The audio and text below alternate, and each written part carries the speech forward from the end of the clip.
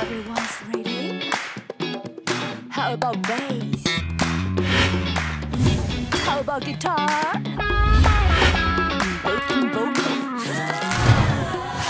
Ladies and gentlemen, prepare your bodies. 嗨，大家好，我是 Masca，这是我现在拍的第二支的 MV《早晨瑜伽》。《早晨瑜伽》这首歌其实起因是因为跳舞这件事情，还有运动这件事情嘛。像歌曲方面呢，我用九零年代啊、八零年代那种 old school 的 popping 的这种音乐，因为对于我来说，跳舞是我人生中其中一段的经历。那时候九零年代初非常的盛行哦。那街舞，那时候很多人都在中正纪念堂跳，那包括我现在一起拍 MV 的 dancer 都是那个时候的老朋友。即使大家现在已经啊都有各行各业啊，都成家立业了，但是他们还是一起的回来。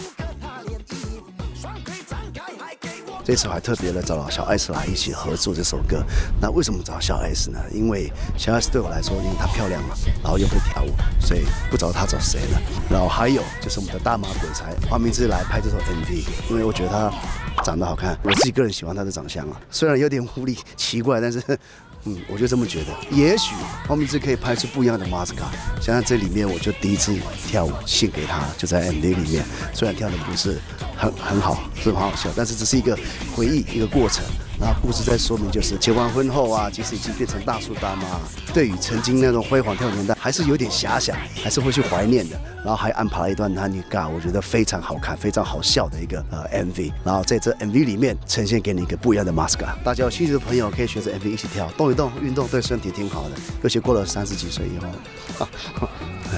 Hello，我是小 S。大家好，我是 mask。Hello，我是黄明志。黄明志你们应该比较陌生吧，因为他不红，可是他很有才华。他是这支 这支这一支 MV 的导演。叫 Morning Yoga 早晨瑜伽，为什么要有英文啊？然后感觉比较国际化。，Yeah，我是小 S D International Professional Superstar。然后这支 MV 导演当时是想了很多，就是我要穿的那个主妇的服装，还有瑜伽服，然后还有跳舞的衣服。在拍这个 MV 之前，我们刚好在一个 party 遇到，我就郑重地警告他说，导演下午四点要让我回家。然后他就开始眼神闪烁说，然后我就装醉了，然后说哦，这样就走掉了。对，对，然后现在时间是傍晚五点半，我还在这儿，而且穿成这样子。你觉得邻居偷看一一个女生，然后最后做瑜伽的时候穿全身紧身衣，感觉不是很像十八铜人吗？不会不会，我我我我要看，我就要看这种的。你看到这种你会兴奋，会会会会会，十八铜人，专看十八铜人证的。会不会很像金虫啊？我现在，因为他们刚才就有人有人问我说，请问这胎是生男还是生女？然后我就说应该是生女儿。我说因为我今天比较那个困，精神的力量没有很强。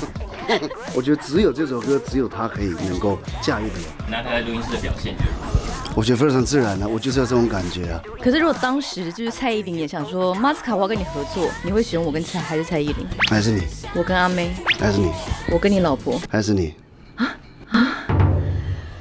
我就觉得脑子第一个想法是啥，就是他了，没了。上啊，对，一个音效。啊，因为我会答应这个工作，就是因为他们说马斯卡想要邀请你跟他合唱，我就说无论如何我都要去，不管我多忙，因为马斯卡是我觉得虽然他的外形不是那种标准的帅哥型，可是他唱歌的时候你真的会立刻爱上他，很想上。他，所以跟他合唱，我觉得非常荣幸。平常拍 MV，可是接到小 S 姐要拍 MV，我就有点紧张。我年纪有比你大吗？有，应该差不多了。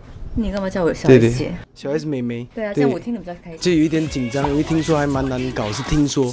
OK，一切都是听说。结果 结果怎么样？没事儿没事儿，没问题，你就讲实话啊。就是家里有 baby 要要顾了，就是压力也蛮大的，我们要体谅。因为我就跟导演说，导演我五点半一定要离开。然后刚刚他说最后一个 cut，可是我回去的时候，我女儿还是很清醒，就是我还得回去面对他们。然后导演眼神就开始飘，对。然后我说没有，我只是想要让你知道什么叫做机车的女明星。运动真的很重要，就是有三三件事女人一定要做，就是要大量的喝水，然后还要大量的把水排出你的体外，就是靠运动。然后保养品要选择对的，幼稚一点，疯狂一点，会看起来比较像小孩子。早晨瑜伽，Morning Yoga，有 Yoga Buggy。好定哎，有有噶。泡炸 Yoga。